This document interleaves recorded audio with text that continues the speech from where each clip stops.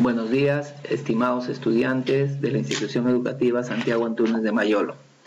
El curso que estamos iniciando corresponde al área de geometría y el tema es ángulos entre rectas paralelas y una secante. Una recomendación general es que observes muy bien el video para que lo puedas resolver todos los ejercicios que están en tu texto. Y a ti, padre o madre de familia, también te solicito que por favor guíes y supervises el avance de tus hijos.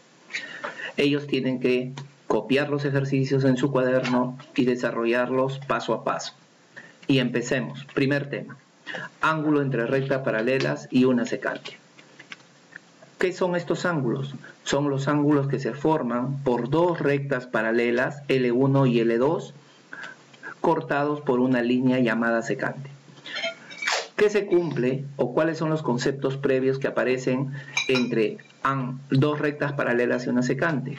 Aparecen los denominados ángulos alternos internos, alfa y beta, cuyos ángulos son iguales.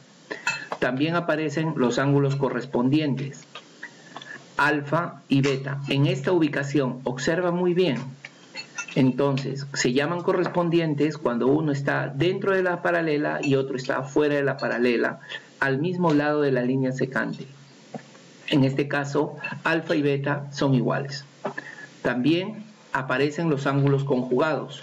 Los ángulos conjugados son aquellos que aparecen dentro de las rectas paralelas y su suma es igual a 180 grados pero también aparecen propiedades adicionales. Este tipo de propiedades adicionales se van a cumplir en el siguiente, de la siguiente manera. Los ángulos de la izquierda, la suma de los ángulos de la izquierda será igual a la suma de los ángulos de la derecha.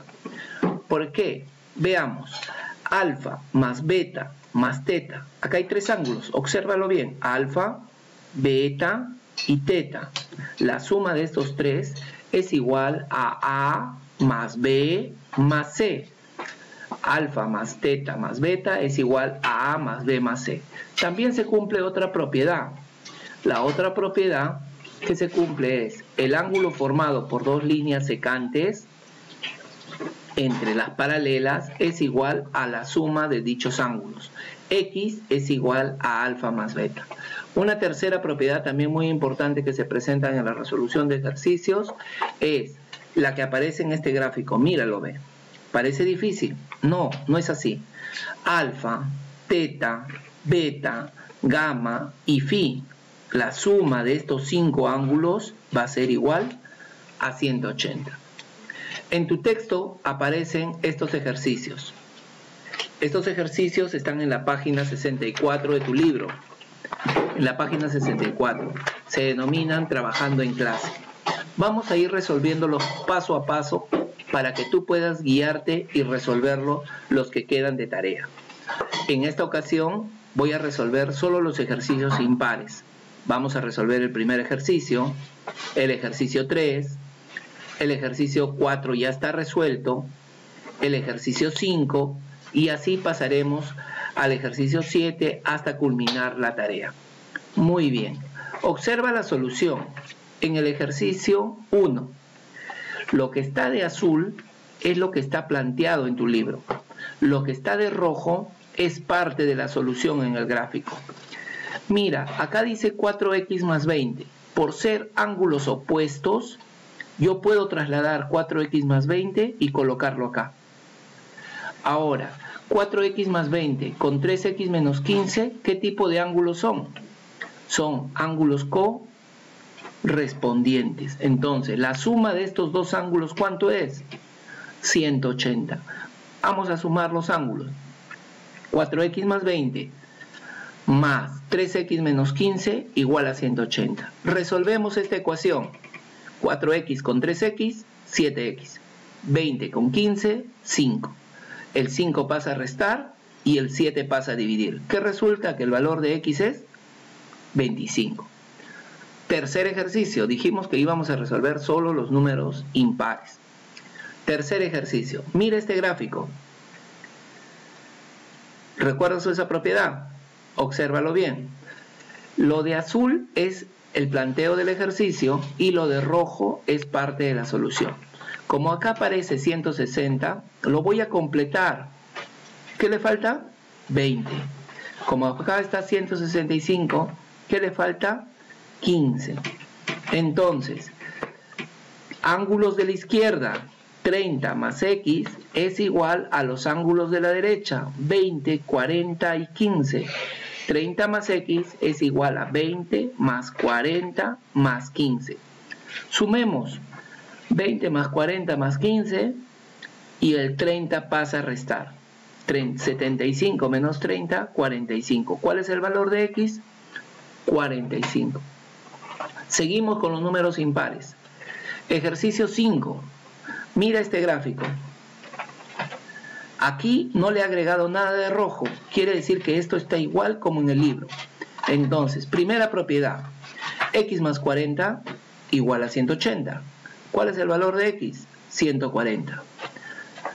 y más todo este ángulo, observa todo este ángulo, y más 70 igual a 180. ¿Cuál es el valor de y? 110. ¿Pero qué te piden? Te piden la diferencia de los ángulos x menos y. ¿Cuánto vale x? 140. ¿Cuánto vale y? 110. Lo restas y ya tienes la respuesta. Ahora vamos a continuar con el ejercicio 7. Siguiente propiedad de las líneas paralelas y la recta secante. Mira, ángulo teta, ángulo teta, ángulo teta y un cuadradito. ¿Cuánto vale este cuadradito? 90, profesor. Muy bien. La suma de estos tres ángulos más 90 igual a 180. Resolvemos esta ecuación. El 90 pasa a restar. 3 teta es igual a 90, teta es igual a 30. Ahora pasamos al ejercicio 9. Un poco más complicado, pero yo sé que sí puedes hacerlo. Lo que está de rojo es parte de la solución. Lo que está de azul viene en el problema. ¿Estamos? Entonces, este 2x lo voy a trasladar acá, por ser ángulo opuesto. Este ángulo teta lo voy a trasladar acá, por ser ángulo opuesto. ¿Cuánto suman estos tres ángulos en un triángulo? 180, pues, profe. Claro, acá está, mira, ve. 2x, 2x y teta. Sumados, 180. Segunda ecuación. Este phi lo traslado acá, phi. Este 2x ya vino. ¿De dónde vino este 2x rojo que está acá? De aquí, mírame. Apareció acá. Alternos, internos. 2x, 2x. Entonces puedo seguir con la segunda ecuación. La suma de estos tres ángulos, 180.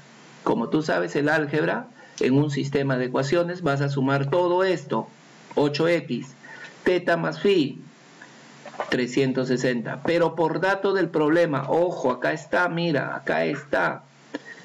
Teta más phi vale 4x. Resolvemos la ecuación y x vale 30. Ahora, ¿qué me falta? Me falta el último ejercicio, la número 11. Y recuerda que tú tienes que resolver todos los números pares de la página 65 y la página 66 de tu texto. Terminamos con este ejercicio 11. Teta, teta. Lo estoy trasladando. Mira, lo de rojo es parte de la solución. Alfa, alfa.